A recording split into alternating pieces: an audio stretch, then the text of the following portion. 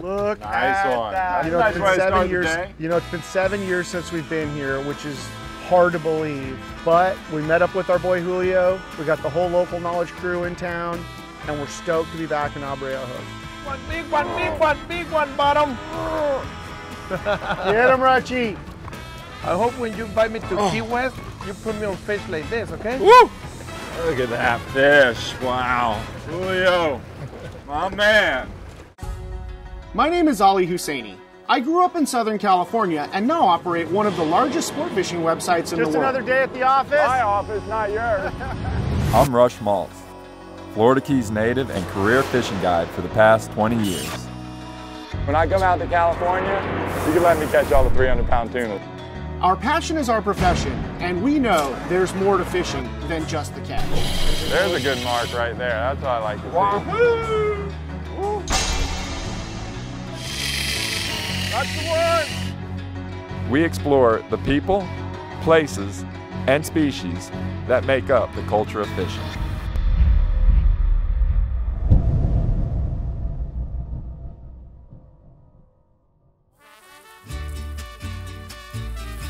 If you were looking for Abre and La Bocana, get your Google Earth out, zoom in on the corner of Baja there, right at the elbow, one of them being Estero La Bocana and the other one being Estero Coyote. And you'll see those two Esteros. It might not be labeled, but trust me, it's there and it's worth the work. Un segundito nomás para arrimar las maletas y subirlas todas rápido para que nos dé rete ahí. Por favor, un segundito.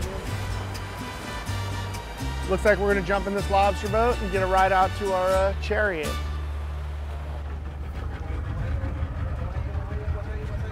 Those Esteros are the heartbeat of this area.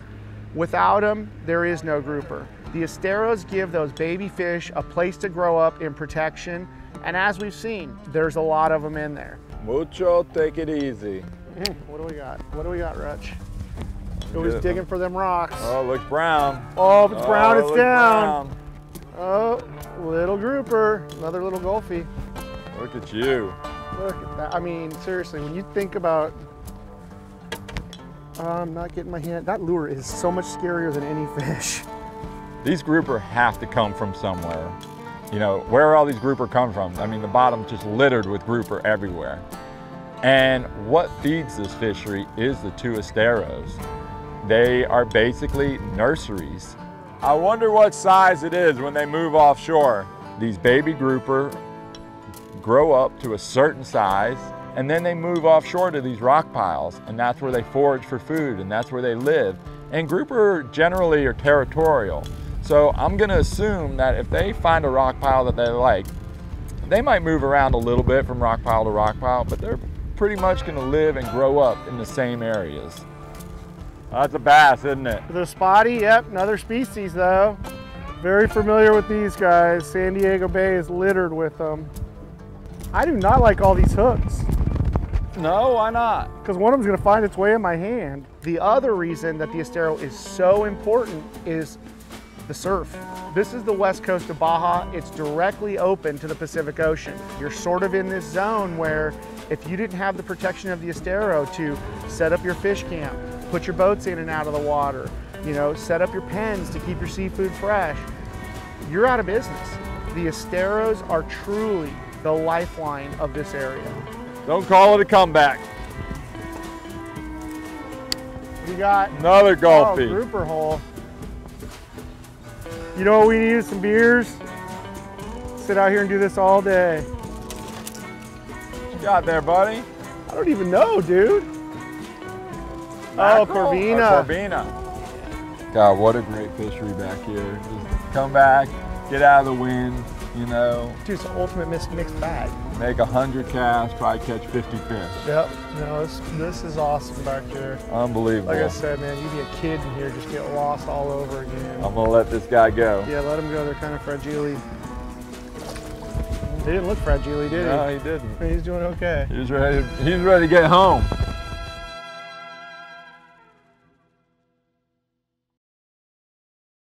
Julio, they're over here. Hold on, hold on. Watch your head. Watch your head. A little more. Neutral.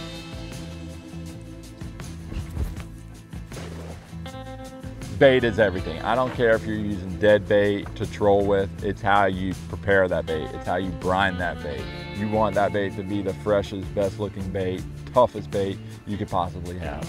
So I really think we need a, a little bit of a mix, you know what I mean? If we get the fish eating really good, I think, you know, you fire that big bait down while they're fired up, and maybe that big girl will come and find them and hammer it, you know what I mean? I will feel way more confident besides having those horse mullet. Let's just see if we can get another load of those smelts. Maybe you can find some bigger ones. You know, back home it's no different. I'll spend hours chasing bait around to get a few hours of good fishing. Coming full of big mackerel. No way, no way. Keep getting those. Start chumming with something, Julio. Oh, one fell off. Bait makes our world go round. Oh my gosh, that's gold. Baja gold. Oh, this is the best bait we could ask for right now. It's not a matter of going and finding the fish. You, you know the fish are out there. It's a matter of finding the bait and having the right bait. Let's do it. We got a tank full of giant mullet, horse mullet. We need this size today. Go, go bigger. A little bit more? How about that? there. Let's go. Mm-hmm. Okay. Stretch them. You got you got the spot for the big ones or what? Yeah, we do have a few. Yesterday we fished a, a couple of hours, so we just fished one spot, but there is many spots here holding big fish. One of my favorite places to fish in Baja California is Abreojos and Bocana. Those areas are very well cared, well maintained, and the amount of fish, the amount of trophy fish that they hold there is amazing. ¿Esta cuál es, compa? Got him, got him, got him! Stop! Oh, fire!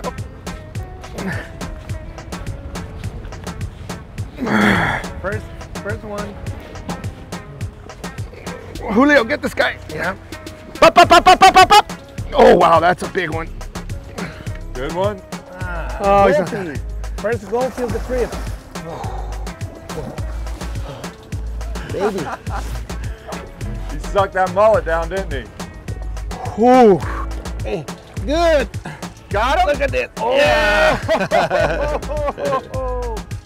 Look at this. Dude.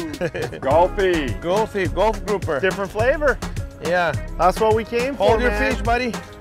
Look Nice one. that, That's a nice dude. way to start the day. First fish, I'll take it, won't you? Oh, that- oh, yeah, that's a good warm up. I guess those dates aren't too big. All right, guys, let's put this guy back in the water, send him back to his home. I think over the years, Julio's really built a trust, especially, you know, with the cooperativas here. This is Julio's playground. He loves it here. He's earned the respect of these guys and he's earned their confidence. And when Julio, you know, tried to explain to him, look, you can only kill a grouper once. You can catch and release that grouper a bunch of times. Get him, Rutch, get him! Oh, you got him, you got him, you got him, you got him. Low gear, low gear, low gear, low gear. Nice one. Woo! Look at that, Beautiful, beautiful. son. I don't know how good he's hooked. Beautiful. I see the right hook. I see the hook. No problem. You're Nice, Rutchy, nice. I'll pull my eyeballs out. Oh, yeah, you look like you're gonna die. Oh. I really believe everybody here got behind it when they realized that, wow, I could take somebody out five times and catch these grouper, and they're still there. Dude, What's your line? I mean, look at that. what's your line? Got it, Julio. That That's made all we- that bait and everything worthwhile. What cast net? Look at that, dude. Look at that. I mean, there's just nothing else like that fight. Nothing.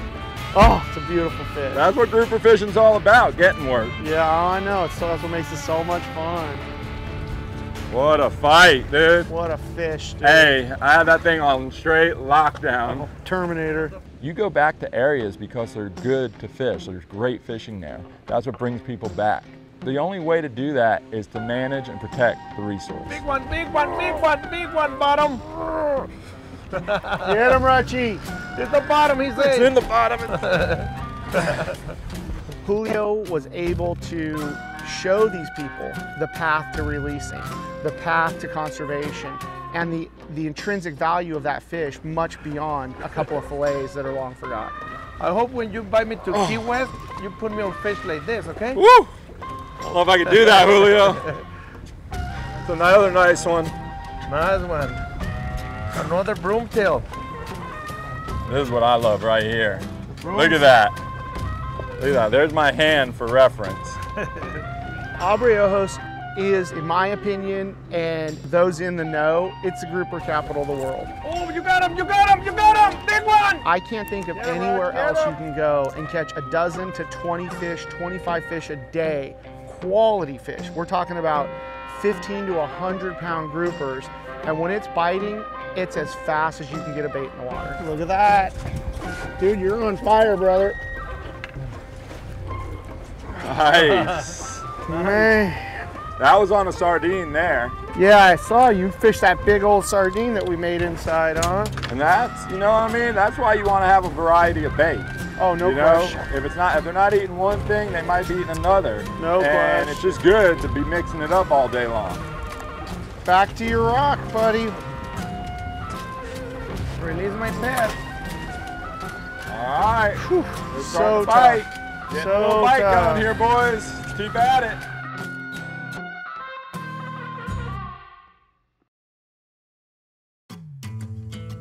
The cooperativas down here at Abreojos and La Bocana are really the gold standard for Mexico.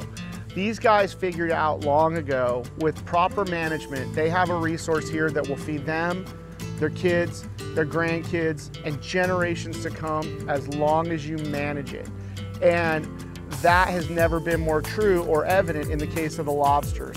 They have a very good program of conservation, not just for the groupers, but also for the abalone and lobster, and uh, that sustain the whole town, that sustain the education, the health, the services of the community through products of the sea that they harvest. But now doing a good job on grouper conservation, so that makes this area, for me, the best place in the world to fish groupers. That's him. Oh, you, oh yes, yes, sir. There you yes, go. sir. That's a good one. That's a good one. Dude, you are on fire.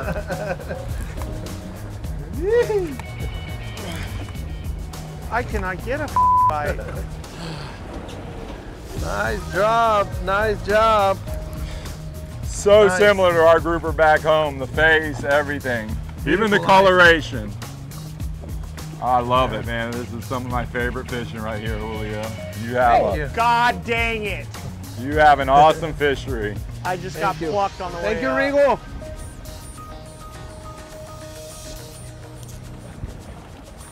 Oh, oh. You know, they figured it. They figured it out down here, right? That these fish are worth more alive than dead. Exactly. You know, we say it all the time. You can only kill them once, but to come back and be able to catch them time after time, I mean, it's priceless. Yeah, but look, th- these guys are smart, you know? How much money do you guys spend to come here and do this fishing, you know? How much money do you do you live in the community, you know? I mean, eating groceries, stuff like that, you know? I mean, I mean, uh, using the uh, uh, the cooperativa restaurant, all that stuff, you know? So that's what they want, you know?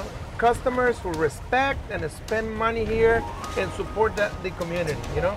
I fish for grouper a lot back home. I mean, we do a lot of bottom fishing. Even when we're fishing on the surface, we we're, always putting a line down on the bottom because we have those options. You could fish for multiple species at the same time. But to come out here and see a grouper fishery like this, where you're catching these grouper in these numbers of these sizes, is just unbelievable. And in this shallow water, I mean, you're catching 50 pound grouper in 35 foot of water. That just doesn't happen anywhere in the States anymore. oh, time to change up the mojo here, Julio. Oh, I cannot get bit. And you're using that 250? 200 or whatever we were hit, whatever was right there. The whatever, heavy stuff. what- whatever this is right here. I cannot freaking get a bite. You know, Julio is one of the guys. I mean, the banter. Like, I'm sitting there, got the hot hand, catching fish after fish. Ali's on a bad, bad cold streak, and Julio is just giving it to Ali. I mean, giving it to him. Can't keep a good man down. Do you have a chance to be in the show? I hope so, Julio. I hope so.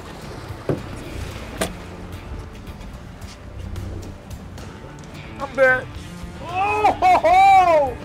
You have got to be kidding me, dude. I mean, at one point, I think I saw a little tear coming down Ali's cheek. Oh my God. That's a good one. It is.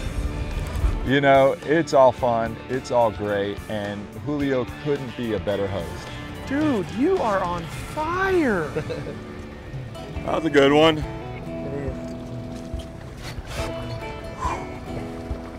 Made my eyes pop out. I was hoping to be in this show, but I don't think that's going to happen.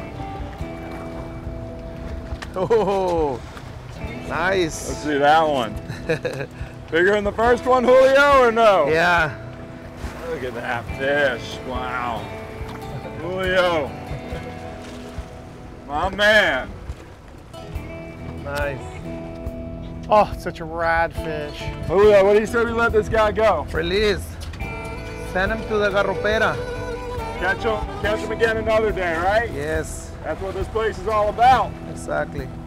Whoa! Look at how they swim away. Like Yes, nothing. yes, yes. All How right. about I get you?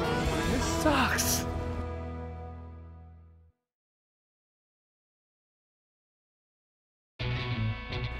At the end of the day, the adventure, the travel, the, the people, all that stuff is great, but we're here for one reason, and that's to catch grouper. Well, boys, what do you think? One more spot? This is it. Let's do it. Do or die. I see you on the scoreboard. Julio, last one. Uh, we have one more, but yeah. You got a grouper here for your Let's boy? Hold the last one. You got a grouper here for Ali? Yeah, I think so. M- Many. Better Manny. be good, buddy. Manny, I like Better it. I like his chances. I like his chances. That sinker has got to be dancing on the bottom right there. That line has to be tight out there and you have to feel that bait moving around. Why? Because your number one indicator that you're gonna get bit is that bait getting nervous. Big one! That's the one we need. Get him, Rack. Woohoo! Big one. Now we always refer to grouper as freight train, but you've never felt a freight train like that until you've tried to stop one in 35 foot of water from going into a rock. Not my biggest, but different species, I think, buddy. Yeah, that's right. It's a golf. The Golfy, you've been looking for him. Yes. Only the second one of the trip, huh? Dude, my boy cannot miss today. What a day, huh? Dude, just this place is magic. So check out the fins. See how they're rounded? Don't come to a point. Yeah. See spotty and more or less blotchy. Uh-huh. I mean, that's how you can really tell them apart. But the biggest telltale is the tail, right? The tail, well, yeah, at this size though, it can be hard. Oh, really? Because the smaller Gulf or smaller broomtails are not going to have really much of a broom. The, po- Really? the shape of the of the fins is how I can really tell. Yeah, the fin are round, and then on the broomtail, it's, it's, uh, it, it, it ends in a point. Comes to a point on them, even on the small fish. I do enjoy being sporty about fishing. I want to see the lightest gear I can catch a big fish on.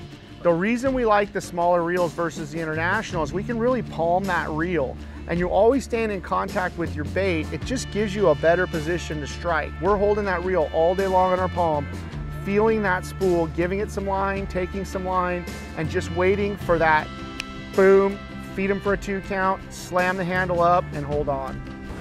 Oh, Get him, yo, yo, yo, get get him, him, get him, get get him, get him. He's back here in a freaking rod. Get him! there is not a lot of margin for error when you're fishing that shallow. When you get bit, there's a super fine line between letting that fish eat and letting him get back into his living room way up underneath the tell, rock. looks like it. he didn't fight like it though. It is. Grouper? Yeah. Nice. Nice, Ali. Finally, finally broke the slump. Man, I cannot thank you enough for having us down here again and sharing this with us. Thank you. This is Thank absolutely awesome. It's an awesome fish. The stuff you're doing down here to protect this fish is absolutely amazing. They do a great job. Let's let this guy go. I thought I heard something about you heard something about lobster and steak. Abalone. I heard all. I mean, I heard a seafood buffet going on back at the camp. I think we better let this guy go and get to business. What do you think? Vámonos. You know, I can't believe it's been seven years since we got back down here, and that's definitely something I'm gonna personally correct in the future, with or without the crew. And I just want to take a second to thank both of the cooperativas. They make this all possible. They protect this fishery so we can enjoy it. They facilitate our trips down here. You know, all of the guys that make Julio's program work. These guys, I mean, you can't say enough about them. Whether it's the pilot that flew us down, Luis, you know, Rigo, who's kind of our guide. You got Pescadito, who's kind of the fixer and gets stuff done. And then you got the La Bocana boys, Wanchi, Joaquin. I mean, they're really what keeps us coming back and they're really what makes this possible. And I just appreciate it so much. I'm so glad I can share this with my buddies. I'm glad I can share this with our audience. It's just a special place. And if you ever get the chance, jump on it.